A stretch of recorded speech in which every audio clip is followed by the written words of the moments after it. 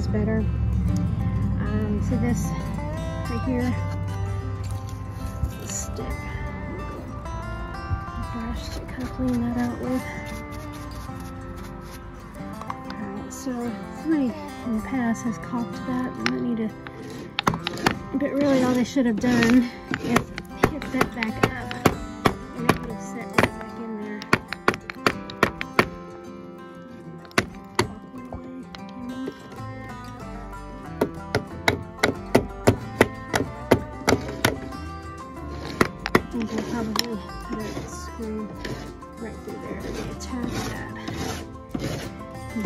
this one over here. It's uh, doesn't need to be caulked in like that. It just needs to be hammered up to get the angle right again.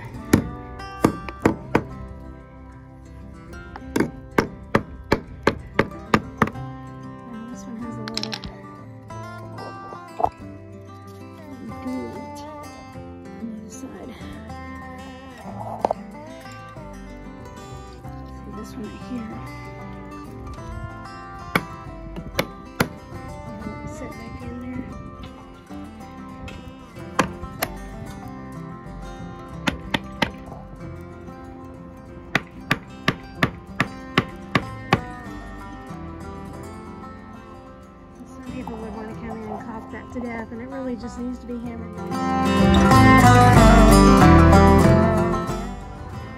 Good morning from the honey stand in San Mateo, Florida. Well, today we are going to do a quick garden tour.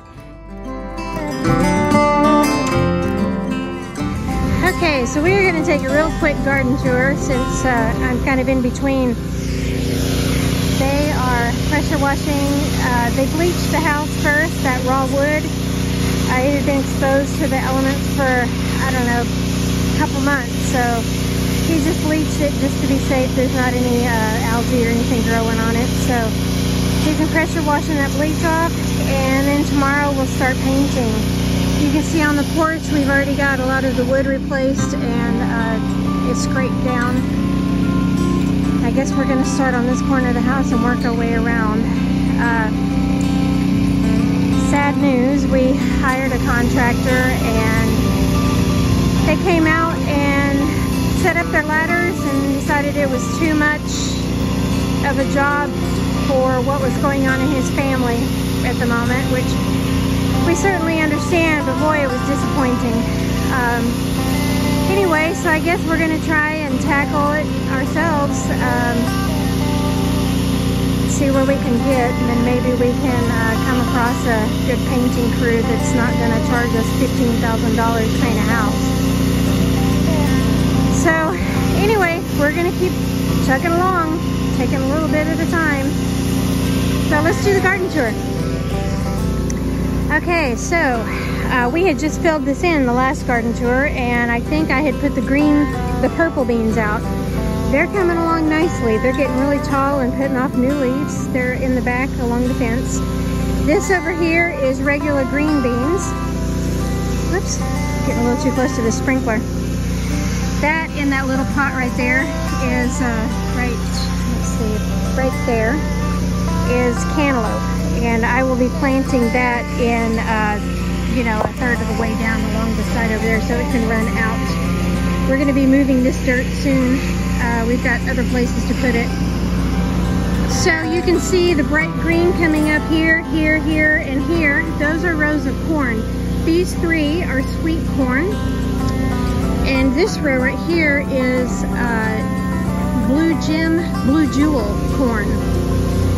Uh, it's like a pastel, I don't know if you remember that, like what we called Indian corn we were growing up. It had the red and black and yellow kernels on it. People use it a lot for wreaths. This is the same kind, but it's pastel colors instead of the dark colors. These uh, that are spaced apart here in front of the corn is okra. We've got four, three rows of that. This little bundle right here, um, I had some wildflower seeds in my hand the other day and the wind blew them out. And uh, yeah, they're coming up. So we have wildflowers right there. I really didn't think, uh, you know, them landing right on top of the dirt, not getting any dirt on top would uh, you know, they would do anything with that, but they sure did. They're coming up. So uh, this is zucchini squash over here on the side. Over here we have this, um, I'm gonna say it wrong every time, it's Allegheny squash. I've never grown it before. I just wanted to see what it was about. Uh, I know some people online really had good reviews about it and said it tasted great, so we're gonna see. Uh, I've got, you can see my onions coming up in, in the squares here. So I put one onion bulb in each one of these squares on this side. This is butternut squash. That is uh, the sugar pumpkin, sugar baby pumpkin, something like that. Small, small pumpkins, I think. Can you see my three tomato plants right there? Excuse me. Let's go in here. These are all of my tomato and pepper plants that were in the greenhouse. I'm bringing them out to harden off and they will be put in the ground and what I don't put in the ground will probably be out on the stand for sale pretty soon. So and I'll probably sell those for $3 or something. Strawberries are still loving their little environment here. They're doing really well. Uh -oh. See a yellow leaf here. Have to check it over, make sure I don't have anything going on. Uh, the squash and the cucumbers are doing quite well. They're making this uh, planter really pretty. I love how it's filling it out and climbing up that windmill. The banana plant is doing well. Um, I addressed the little bug issues and you can see that the new leaves are coming in. Oh, got a stick in there. Uh, coming in nicely. They're not, I don't think I have any more pests, whatever that was. And this one is doing well. Uh-oh. Now these are new. I think the pest just moved over here. I have I have to take care of this one too now. Okay, so in here I still have one cucumber uh, set, not cucumber, I'm sorry, cantaloupe set. Uh, and I will plant that outside. We've got another bed that we haven't filled up with dirt yet that I'll be putting that in. There's the lettuce and spinach doing nicely. Might have our first salad off of it this week. I have some sweet peas over here. I think uh, I need to set these out in the water actually looking pretty bad. Uh, put these right down here with the, and I'll get some water from that sprinkler going. Anyway, I should not have planted those sweet peas. It's fixing to get super hot and they're not going to do anything. So I'm just going to let them go through their cycle and see what happens. Peanuts are coming along. Uh, radishes, starting to bulk out on bottom. They're getting pretty tall too. Onions are doing well. These are giant marigolds. Can't wait to see what they look like. Here's the butternut squash. It's doing well. Earlier in here, we had a visitor, and I don't see it. It must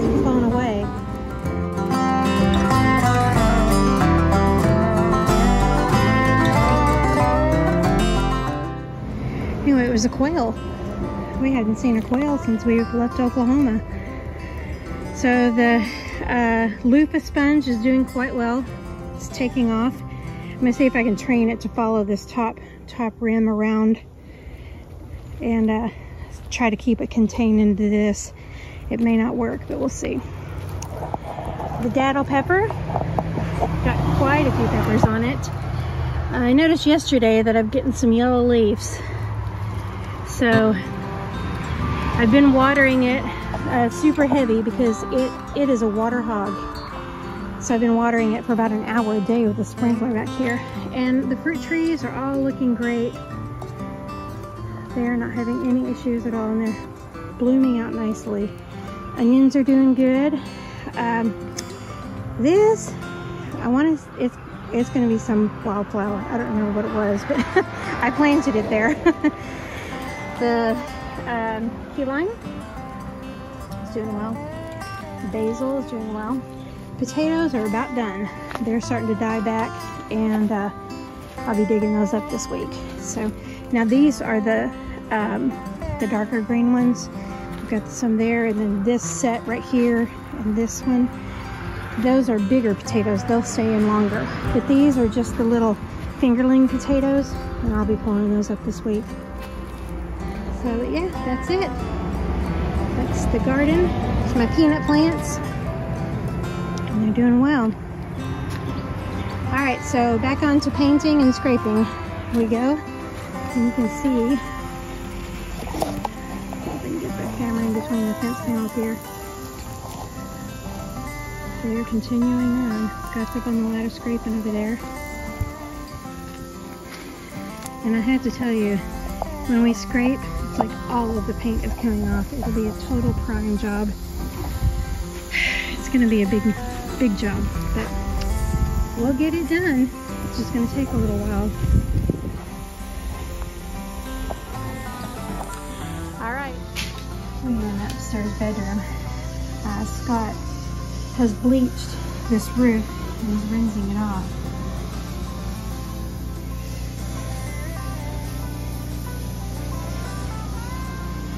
Whole lot better. That's the part of it that he hasn't done yet.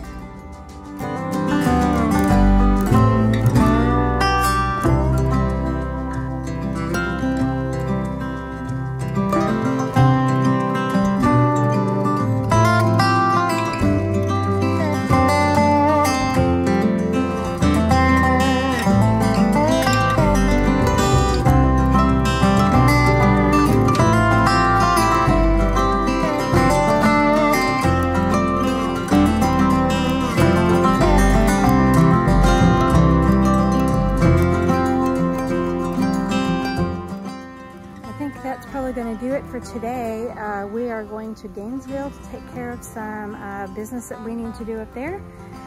And we will be home tomorrow, and I guess what's going to happen. All right, see you soon. God bless you until next time. Bye-bye.